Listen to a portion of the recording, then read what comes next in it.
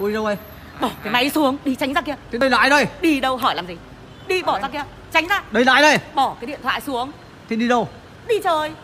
Chơi cái gì? Hỏi cái gì mà hỏi? Hả? Vô duyên. Cô biết cô, cô đi với cái bọn này đâu? Đây là em là cháu tôi.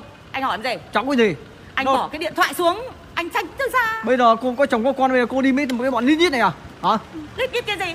Anh có thích làm ở Mỹ thế, lên bây- không? thế bây giờ ý cô làm sao? Thế ý anh sao? Anh đi ra đây.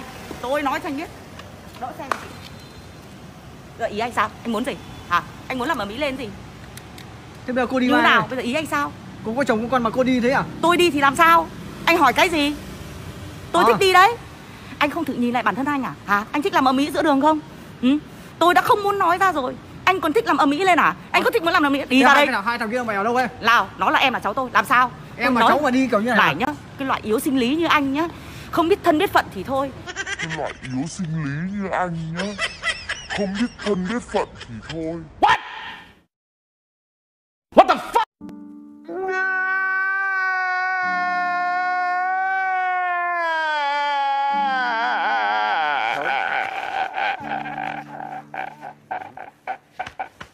Anh hỏi cái gì hả? Thế cái yếu sinh lý là cô đi như này à? Tôi đi đấy thì làm sao? Hả Tôi đi đàng hoàng thì làm sao? Cô bây giờ cô bây giờ cô không tôn trọng tôi Tôi bây giờ cô coi thường chồng nhá. con này à Này tôi coi thường anh Tôi đã không mua thuốc cho anh uống nhá. Tôi mua thuốc cho anh uống để làm sao? Để bồi bổ sức khỏe à, Để vợ chồng gần gũi ân ái nhau Thì anh không chịu uống đúng không? Bây giờ anh trách hả? Tôi phải có cuộc sống của tôi. Tôi khủng hoảng Tôi đi đàm về tôi cũng mệt mỏi Tôi phải đi. Anh nói cái gì? Thế bây giờ bây, bây giờ cứ như thế bây giờ cô đi như này à? Tôi cứ Hả? đi đấy. Cô đi uất uất con không mà cô Tại sao anh không chịu thế uống bây giờ cô đi đâu? Cô đi với hai thằng này bây giờ cô đi đâu? Tôi đi đâu? Việc Hả? của tôi Không liên quan đến anh Anh không chịu uống thuốc đúng không? Cô, cô đúng là vớ vẩn đấy à Vớ vẩn Bây cái gì? cô Anh mới là cái loại vớ vẩn bây giờ nhá. con cái cô nhà bây giờ lớn Này kia nhá, bây giờ cô còn đi với tôi bọn nói- nít nít này à Tôi nói cho cái mặt anh biết nhá. Tôi nói thật cho anh biết là đây là cháu là em tôi trong nhà nhá. Còn nếu hôm nay tôi đi với đồng nghiệp của tôi thì không biết tôi phải chui đi đâu nghe chưa? À, Cái loại chồng Em yếu mà sinh cháu- lý em nhá. mà- Cái loại chồng yếu sinh lý Không làm được gì cho vợ cả. Ít nhất là một tuần cô đừng vợ có khinh chồng. tôi như thế. Này, tôi cô yếu sinh lý thật nhưng mà cô không thể làm cô đối xử với tôi thế cô đừng có khinh tôi như thế Này, tôi cô yếu sinh lý thật nhưng mà cô không thể làm cô đối xử với tôi thế đâu.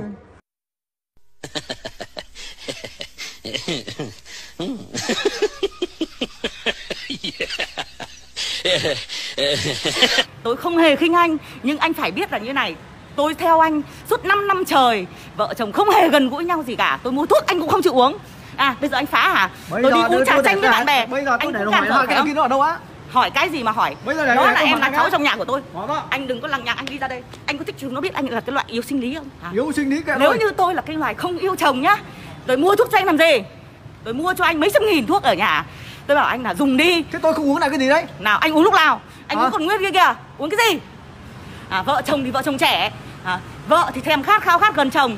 Nào anh thử hỏi anh có gần gũi tôi không? Hả? Thế bây giờ cứ như thế này là bây giờ cô bây giờ cô đi mới mới dài này thôi à? Thế bây giờ ở về nhà làm cái gì đâu à, Tôi đi Bây giờ đâu? làm cái gì phải từ từ chứ. Lại tôi nói cho anh biết bây nhá giờ tôi bị bệnh tôi phải đi chữa chứ. Chữa từ cái từ gì? chứ. Không phải chữa gì cả. Thuốc rất là tốt Rất là nhiều người dùng rồi. Bạn bè chồng con Người nó ta lên cũng nó dùng. lên thì cũng phải lên từ từ chứ bây giờ phát lên cây à? Lên đâu mà lên? Bây giờ Ít cô bây giờ cô cô bị cứ bị này thông ban Nếu cô đi như anh dùng đều vớ vẩn đấy à? Anh dùng đều theo chỉ định nhá Thì một tuần vợ chồng cũng ít nhất cũng phải gần nhau được hai ba lần. Kể cả một lần tôi cũng được. Anh xem tôi đi làm đấy vất vả. Tôi cũng như bao nhiêu thanh niên khác. Phải ra đường phải có bạn Đúng không? Phải giao lưu. Nhưng chồng thì sao? Rủ đi không đi. Hả Tôi đi với con với cháu trong nhà Anh cũng âm ý lên Anh chẳng ra cái thể thống gì cả. Con mấy cháu mà đi kẹp hai kẹp ba bây giờ đấy à? Thì nó là con là cháu nó mới chịu ngồi như thế Chứ sai nào nó chịu hay- ngồi hay- thế hay bây giờ tôi yếu rồi bây giờ cô thích đi mà nuôi bọn trai trẻ đúng không? Nếu như anh hứa với tôi anh dùng thuốc đều Anh khỏe mạnh nhá Khỏe như lực sĩ Tôi hứa đảm bảo với anh tôi sẽ dẫn anh đi giới thiệu với bạn bè tôi. Ờ. Ờ. Bây giờ bây giờ tôi yếu rồi bây giờ cô bây giờ tôi khác rồi đúng không tôi vẫn cô thay thế đổi đúng không? Tôi vẫn yêu chồng yêu con nhưng cô anh không với, với tôi như thế à? Anh không chịu uống thuốc Anh không chịu tôn trọng vợ Anh không chịu gần gũi thuốc vợ. thì uống phải từ từ nó mới lên được chứ bây giờ Bây bắt anh lên được ngay à? Anh uống đi rồi tôi sẽ nghe lời anh. Được chưa? Còn bây giờ tôi đi uống trà chanh Anh đừng theo nữa. Cô đúng là vớ vẩn nhá. Này nhá tôi nói cho mặt anh biết nhá Đây là con là cháu bên nhà tôi nhá. Còn nếu hôm nay đi với đồng nghiệp nhá Thì anh đã không biết á Chui đi đâu Hai vợ chồng phải chui đi đâu nhá. Đúng rồi sau này cô sẽ hối hận đấy. Là tôi không hề hối hận nhá Nếu như anh dùng thuốc đều nhá Không bao giờ tôi hối hận. Nghe chưa đúng là vớ vẩn. Này nhá tôi không vớ vẩn nhá. Tôi nói cho anh biết nhá Nếu như anh chịu nghe lời vợ nhá Thì tình đi cảm vợ chồng giặt rào Kệ tôi Tránh ra